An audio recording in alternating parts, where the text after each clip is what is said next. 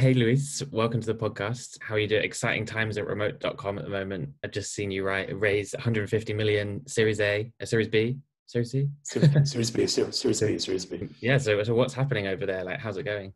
Hello, uh, thanks for having me on your podcast. Uh, very good initiative, by the way. So it's been exciting, exciting times. We announced our Series B last week, and it is it is exploding. So a lot of interest in our platform, new customers, new businesses, and of course, uh, we need to be aligned on on the way that we want to scale from this point on, because all eyes are on us.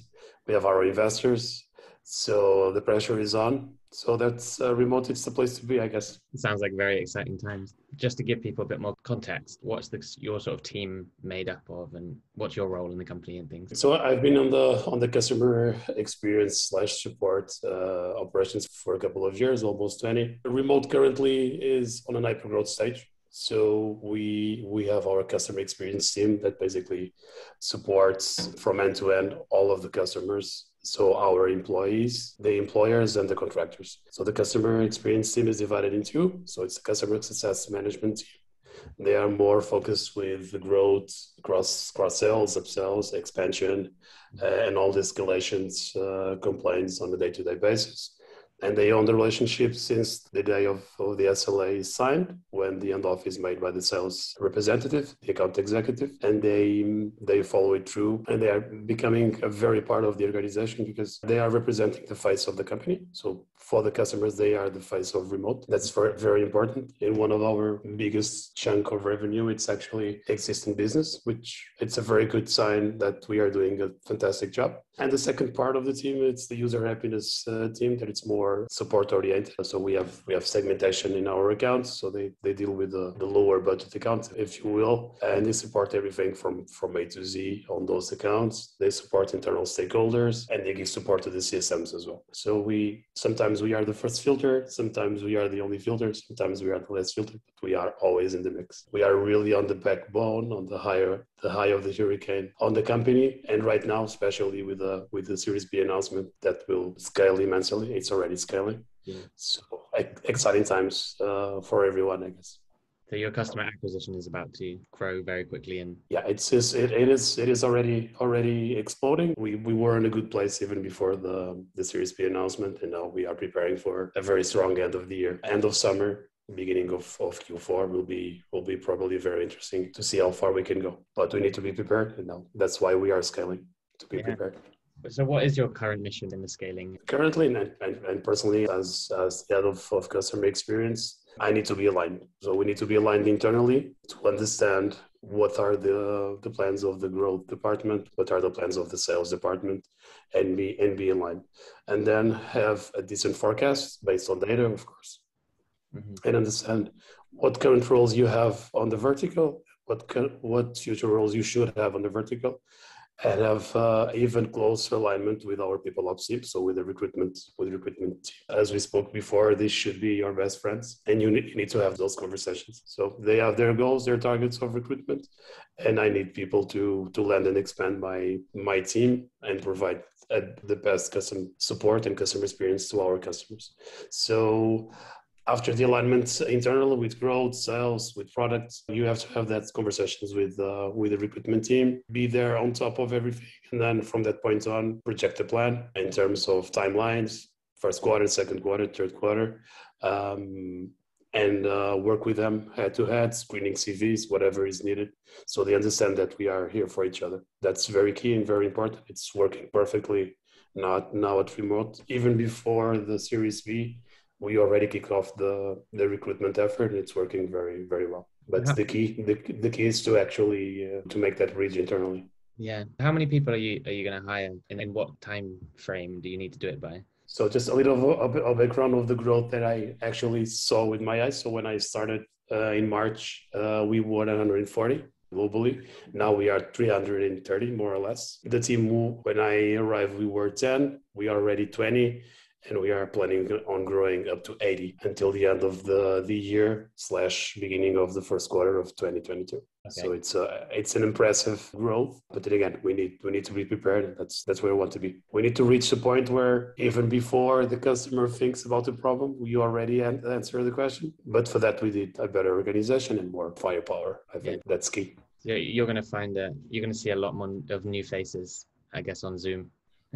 yes, yes, it's it's it's already part of my daily, weekly routine. Um, yeah, an average of seven, eight, nine, ten interviews a week but that's very important. We, we talk about culture and talk, we talk about being a remote tasting company and about our DNA and our values. I'm 100% sure that it's important to have actually the, the manager convening that uh, message since day one. And for me, day one, it's on the interview. That's where the onboarding experience starts.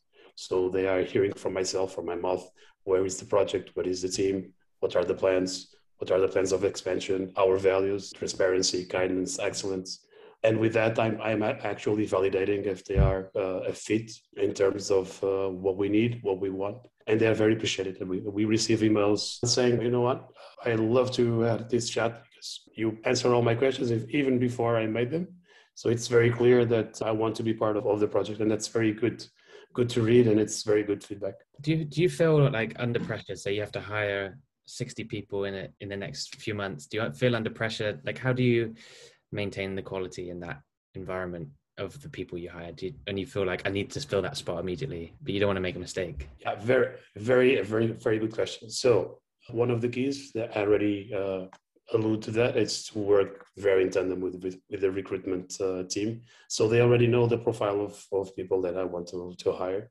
Hmm. uh, what what are the correct fits? When the screening process starts they already know that even if technically that person is a possible fit, the, the type of personality, the type, type of profile will not fit in our team. That's the first. Second, use your uh, your network as much as much and best as you can mm-hmm. immediately, um, because you, you you never know, especially on, on customer experience and, and, and support roles. It's not mandatory that you have a background or a more technical background. You just have the will to learn. Um, because anyone can be thought, but you have to have the drive, the right mentality. And for me, the most important thing to have that customer centricity mentality that, uh, you know what, you need to be customer obsessed and you're going to be a, a, good fit. And we we provide that that message, or we convey that message since the day one, which is the interview. Other than that, there's uh, internal internal programs that we have, like which is normal referral programs um, internally that that work very well and word of mouth works fantastically because we are branding our own our own company by saying what we do and doing what we say. Mm-hmm. so it's important for our brand for our for our image that we actually provide a very good onboarding experience to our to our employees and that is convenient to to other networks that we don't know about. And when it's time to recruit you know what? I'm going to refer remote to a close friend of mine because my experience has been fantastic. And that's that's very good because at, at, at the end of the day you will trust people that you have a close relationship with. And you will never normally you will never refer a company or a job position if you think that the person will underperform or be miserable at their job. So yeah because it reflects badly on you either way. It reflects badly on you. And i and i already saw this this happen some relationships are over because because of that where there's a misalignment between what actually the person is and because of that relationships and friendships are over because that's not that's not cool. So you need to be careful. Yeah for sure. Interesting. Um, do you have any tips for when you're interviewing someone to find out you know because everyone puts on their face their interview face and their, their best sure, sure. do you have any tips for or questions that you ask to like really find out who someone is well, I I I I, think I I disarmed them uh, um, with with my sincerity and honesty, which is basically one of our values, which is transparency. Mm-hmm. So it's um it's a no no BS approach where by explaining what remote is. Uh, at the same time, I'm validating actually if that person is a fit or not and let them speak, speak about their experience, what are their goals, and, and examples of on these specific uh, positions what it, what represents for them to be customer obsessed. Please show me two, two or three examples and practical practical scenarios. I do two or three questions about the practical scenarios, but basically it's it's about uh, understanding the trajectory of that of that person, if it is a fit or not, if everything on a professional level it's a fit, a fit or not, and uh, you need to have empathy. That's one of the most uh, important things. Yeah. Uh, you need to have that that that chemistry because of the end of the day they will work work for me. I'll be the face of the company. So for them, as the customer success and user experience team are the face of remote, and that's very important. And it's I'm, I'm not even talking about the cases where we actually send an offer and that person will become a remote employee. Even if they don't reach an agreement with us and there is no offer, it's always a good experience. And maybe you don't know if they will refer remote to someone else. That's very important to keep to keep in mind when you are interviewing someone. You don't know who that person is. You don't know. Again, we talked about the networks before. You don't know if that person has a good network. If he or she can refer a good person, uh, or you know what, I, I think I'm not a fit, but this position is perfect for you. And and, and there you go. Referral. We have a new candidate. Yeah. So it's uh, it's it's an ongoing cycle. But I would say the key the key the key words are transparency and um, and empathy. Yeah definitely that makes a lot of sense if that's part of your like company culture it's cool that you're uh, acting it out in the process you need you need to to embrace what the culture means I, I we, we tend to go away from that culture um, stigma it's it's more more about the dna what is our dna in, inside of the company um, and we, you you need to transmit that uh,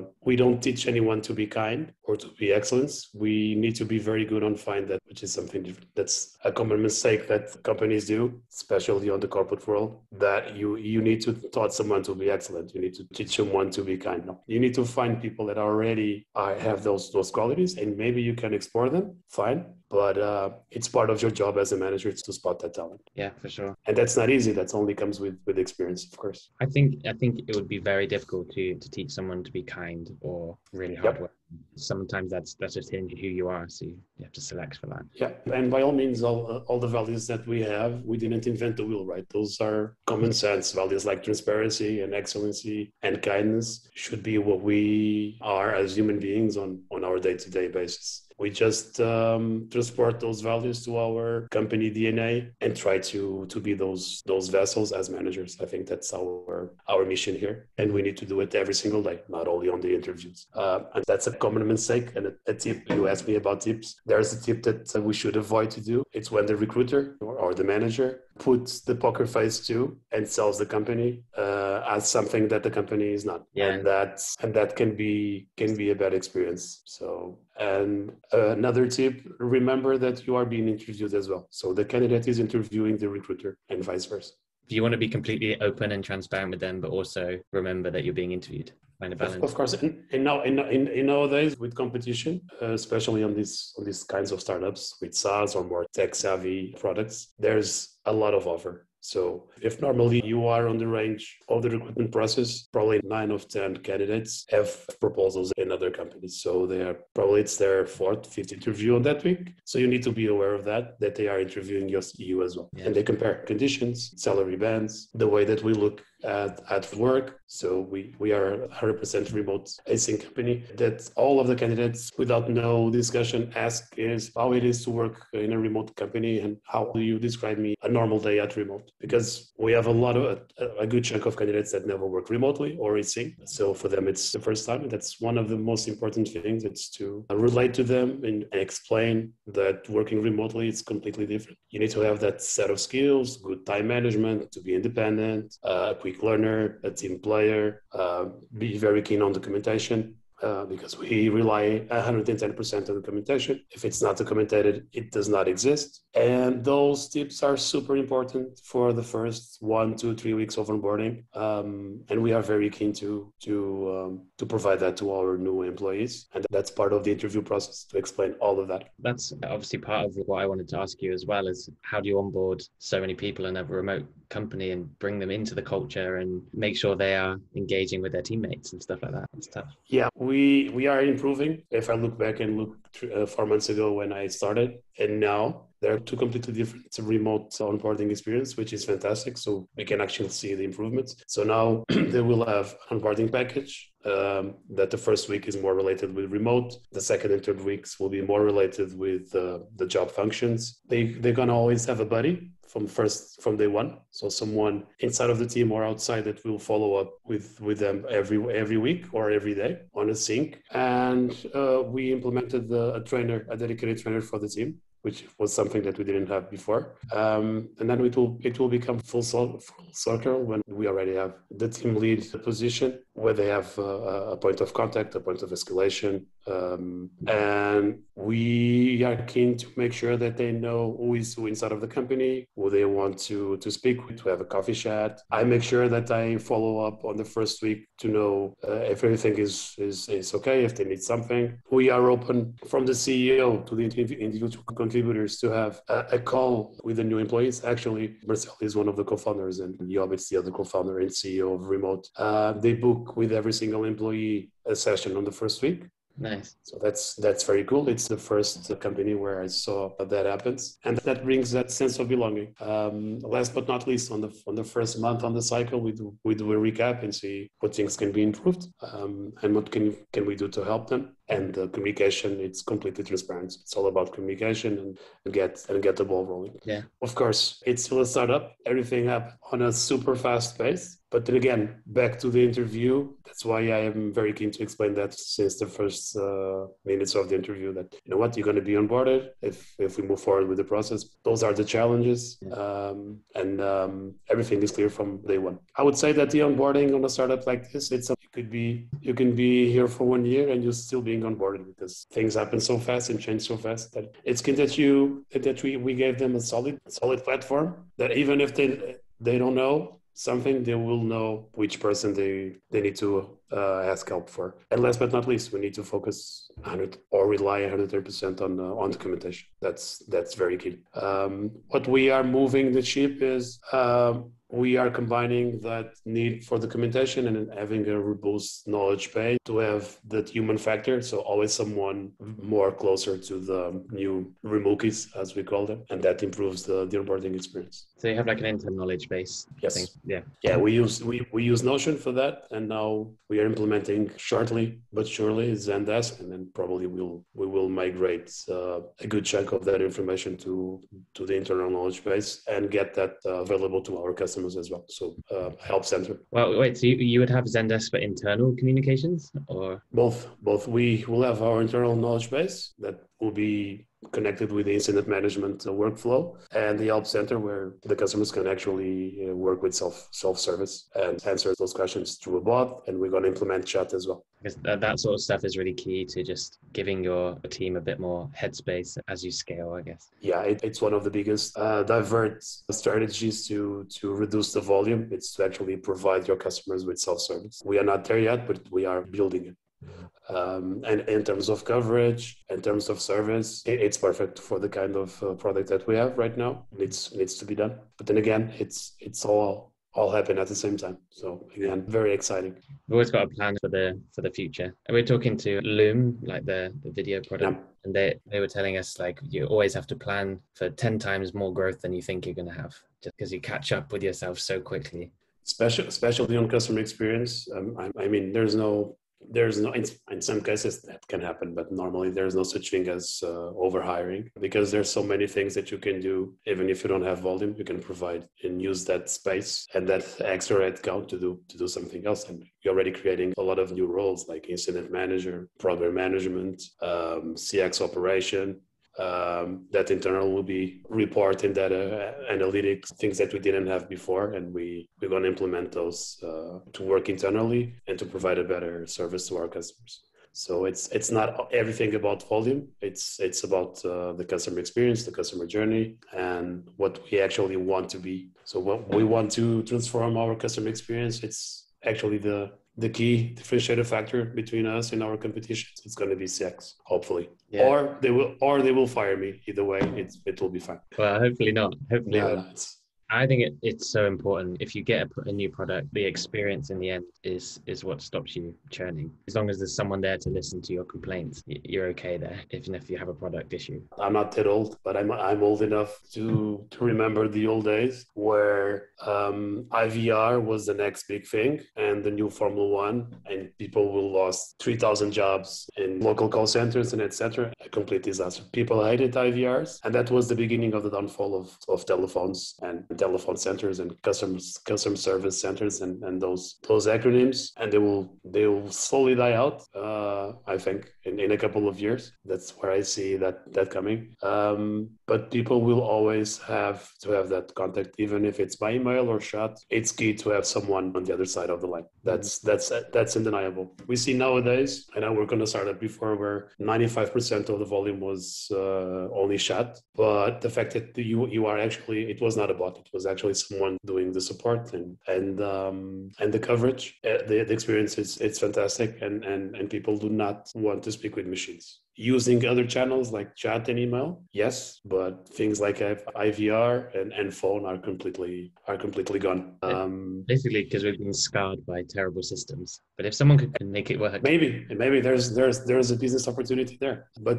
people will not go back to those awful experience on the phone waiting for 35 minutes listening to this terrible music that will make you even more nervous. At the end of the call you need to to fill in a survey of 25 minutes. It's mind-blowing. So, yeah no, that's what COVID. COVID has become the new excuse, hasn't it? Really, it's like, oh, I'm sorry, we don't have any agents because of COVID.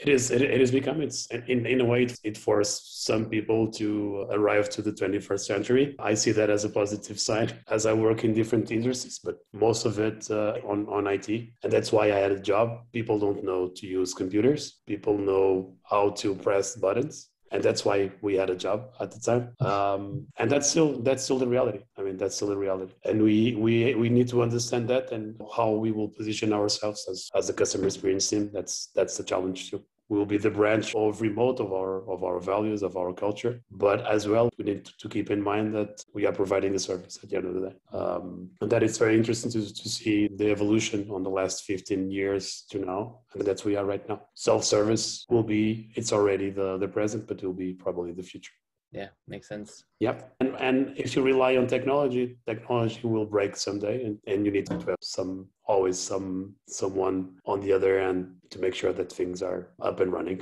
to keep the lights on as we say it i think it's important. If people are only so willing to look in self-service. Like I, I try to help myself but after five minutes i can't find it please have a button there that says talk to me. That's that's very important. It gives you that uh, reassurance that you know what they're there for me. And we see a lot of complaints. For example recently uber eats just removed the chat and the whatsapp uh, option. And they receive a lot of complaints. Why did they do that? Uh, um, probably they will not they were not able to scale with all the complaints and and volume. It is if, if you have for example an uber eats dispute you cannot call uber eats. You need to call the the restaurant or vice versa. So it's it's a mess. So we are going back to the phone again, and there you go. I mean, I we I use Deliveroo a lot here, um, which is just like the kind of competitor in in in the UK. I I often I could probably complain every one in four times the food is cold, the wrong food. Oh. So if you, if you remove if you remove the option, then yeah. Yeah, I, I don't know why they do it, but I, I guess I guess it was volume costs. All costs. yep, definitely, definitely. Now with the, the pandemic, they don't have any complaints. They their volumes went to the roof. Yeah, I guess so. Yeah. Final final question I wanted to talk to you about, and we already touched on culture and how like onboarding is a great way to get culture and and that kind of thing. Um, I guess yeah, uh, employee retention is sort of the the end of this, um, like hiring, onboarding, retention. What do you think is key in a remote environment, especially to to keep employees retained and happy? Well, going back to to the beginning, it all starts on the interview, on the interview process, and and make sure that the onboarding is flawless, and we provide uh, the new employees with the very good experience and we need to have a sense of the, the human resource. So the, the human factor in, in companies it's not only uh, a cliche. They will talk with their families. They will talk with their friends. They will talk with everyone on their network. And they at the end of the day our employees are, are our biggest brand. They represent the company outside. When they go to a restaurant when they go to a movie when they go to a theater there's a remote person right there um, and they will they will spread the message and they will in a way embody our values and spread that way of thinking. And one of the key or one of the mistakes of management that i saw in my years of experience is to think that people do not speak with each other and overlook that those messages listen to your teams. Make sure that you are open for them when they want to speak with you. When someone is leaving you a termination letter, it means that they are already thinking for two or three months on leaving. They didn't have the decision on that day or in that hour. So make sure that you are there for the interviewing process. Make sure that you are there for the onboarding process. Make sure that you follow the, the process of growth of that of that specific per- person. Implement a personal development. Be very clear about the salary bands. Do quality checks about their performance, about the KPIs, about the targets. Explain everything top down when you have a brief or a management meeting, what's going on, and to a certain extent, what are the projects, new products for the company. Make sure that the person is part of the journey. Make sure that the person w- will be the journey. Don't forget that without them, and I, I said that this to my teams, all of the teams I managed so far. Hey guys, if you don't show up on Monday, I don't have a job too. So the only reason why managers are managers, it's because they have someone to manage. And that's very important. For me, it's the most important message. I, I don't exist without them, uh, but they do exist without me. So it's, it's to have that sense of your own mortality and that you are here to help them. And here at Remote, we use hierarchy hierarchy to to structure and to guide people and not to boss people around. And that's very important. And that's and that's why I love to work here. You use hierarchy and structure to manage people, not boss people around. Yeah, yeah. Yeah, that's that, that's very important. It's sometimes ingrained in some companies. Titles mean something, for us titles don't mean that much. If at the end of the day you lose four or five people a month and then you're going to put pressure on the recruitment effort on the recruitment team and the most uh, the highest cost on the company as you know is people. So how does that work? It's very dynamic. I'm i i i'm a fan of that of segmenting uh, the team with specific tasks or specific roles so they don't have projects because projects on the long run your normal day to day will get a, it, it will get in the way. So if you have room if you have space and if you have the money at the end of the day um, try to do that. And by doing that you are passing this message of trust. And at the same time you are promoting someone to a new role. And that that person will stay because uh, you are you are there for there you follow that pvp if you have more that more structure mentality. Some companies do some companies don't. But at the day they will remember you know what? I started here for six months and i'm very good at report and analytics. And six months after i'm i'm the report analyst analytics manager. So they see they see the growth. They look back and they see the growth. And that's very important and, and one of the most key retention factors. It's to have a path an objective a, tar- a target but to see something happen with your career so career progression it's very important. Yeah, definitely. I've yeah experienced that, of course, firsthand. Yes. Yeah. We all did, I think. yeah, exactly. You sort of know, don't you? It's a good thing to remember. Like, what is it like to be an employee? And I, I want make the experience like that for my team. Yeah. Yeah. yeah, that's and that's and that's key. I've, I've been there on the battlefield. I, I started as a, as a custom service um, team member on, on, on UPS and I, I work my ranks up until until the management position. But I know exactly what is to be in the mix, the pains that I felt, the frustration that I felt, not having a decent manager to escalate things. And and I, I promise myself that I will never be like that again. So I yeah. think I learned not to be like that. And I tried not to forget every single day that they are the reason why I'm here and not the other way around. And some managers tend to to forget. Yeah, staying humble with your team. Staying staying very humble and I'm not I'm not saying falsely humble, real humble. Like and, and they, they can smell it a mile away. It will not last. It will not last. Definitely. Yeah, for sure. Well, thank you so much. I think this has been really insightful and going to be very useful for anyone hiring people at the moment. So thank you. Thank you. I hope so. Thank you so much for having me.